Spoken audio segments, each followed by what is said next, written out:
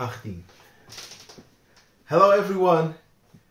Today is the birthday, the 80th birthday of one of the greatest musicians and guitar players of all time. I think this gentleman has inspired me so many times on so many levels as a guitar player and a musician and as a composer as well. And uh, I would like to say happy birthday to the greatest, George Benson. Happy birthday, and I'm gonna play this song for him. It's called El Mar. It's his song.